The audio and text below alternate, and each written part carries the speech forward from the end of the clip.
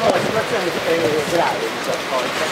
Ma che pensate? Non rispondere, perché non non voglio parlare, scusate, mi fa schifo. Allora non ci vuol dire neanche già risposta alle domande. Ma non voglio rispondere, per favore. È pericolosissimo, per favore, spostate. Ma ci soltanto il risultato. No, non